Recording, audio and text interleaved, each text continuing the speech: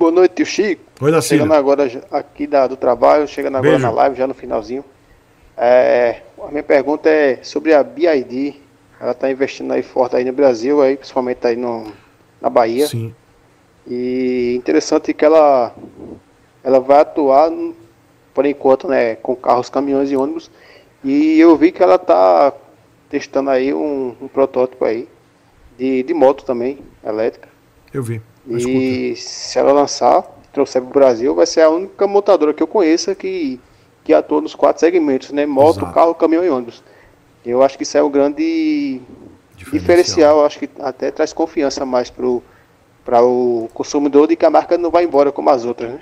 Com certeza. É, o que é que você tem a, a comentar sobre aí? E qual desses quatro nichos você acha que ela vai ganhar notoriedade primeiro? Vai chegar tipo uma quinta colocação, que ainda é muito distante, né? Mas é, o que é que você acha? Abraço. Carros. Carros, eles, eles já estão. Cara, eu, eu, eu tô interessado no, no Dolphin, né? Não vou comprar esse carro tão cedo porque eu tô com outros planos. Plano de, de outras coisas.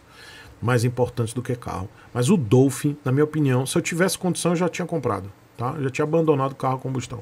Porque eu tô acompanhando é, Primo. Alto Primo, Primo Alto, é, é um canal desse aí. Ele comprou, ele, ele tinha um, um Corolla e vendeu um Corolla, tá? Corolla bom. Vendeu, pegou um Dolphin. Cara, ele tá fazendo vários vídeos. Já fez vídeo viajando de São José, acho que São, São José do Rio Preto até São Paulo, dá quase 400 km, dá 400 km. Ele fez essa viagem com a família, família toda, com o carro, mostrando os, os, é, os postos, né? Os eletropostos. Cara, conteúdo excepcional aqui no YouTube.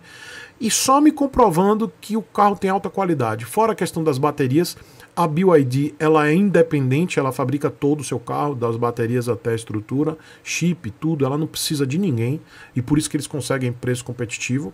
Esse é um diferencial. As baterias são as mais confiáveis do mercado, são as melhores, inclusive é, confiáveis em relação à segurança, porque já foi comprovado que são baterias, que, mesmo perfuradas, elas não, não incendeiam.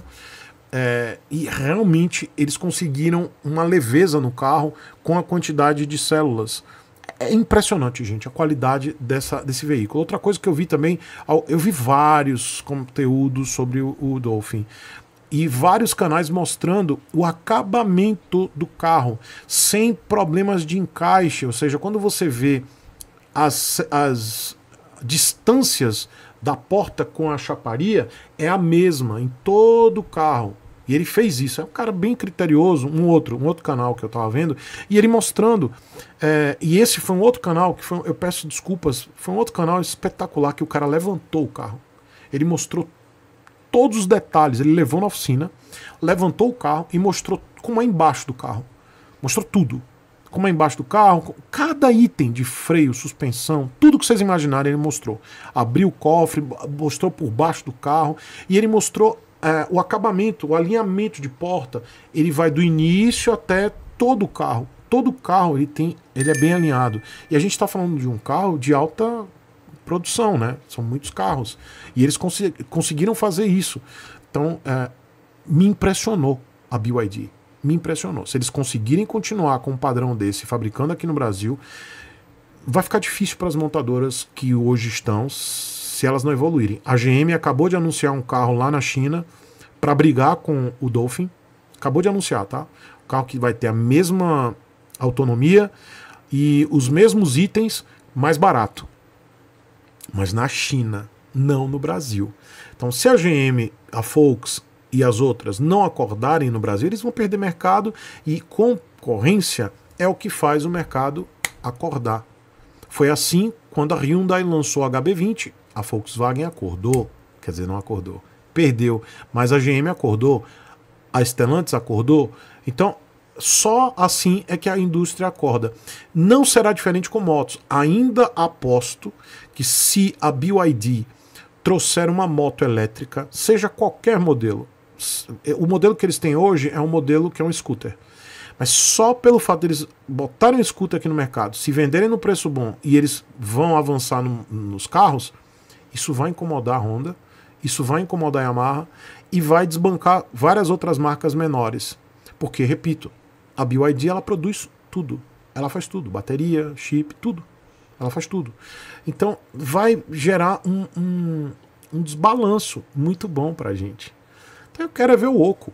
Eu quero é ver o oco. Eu sei que eles, a BYD está no setor de ônibus em Campinas, né? Tem uma, se não é fábrica, é uma montadora, enfim, em Campinas, que também. Só que isso não gera uma impressão é, imediata do consumidor, porque é ônibus, às vezes o cara não, não percebe, por mais que seja um transporte público ou de veículos pesados, mas carro sim, porque gera mais conteúdo, né? Tem produtor de conteúdo, isso gera é, publicidade.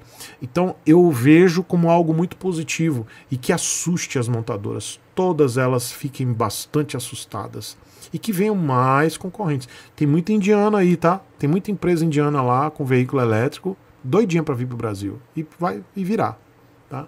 Então todas essas empresas que aqui ficaram num, num mar de tranquilidade por décadas, se elas não se movimentarem, não colocar preço competitivo, baixar a margem de lucro, colocar para girar veículo bom, elas vão embora vão fazer birra, como a Volkswagen está fazendo, vão fazer birrinha, vão ameaçar ir embora, mas da mesma forma que uma quer ir embora, tem duas, três querendo vir para cá.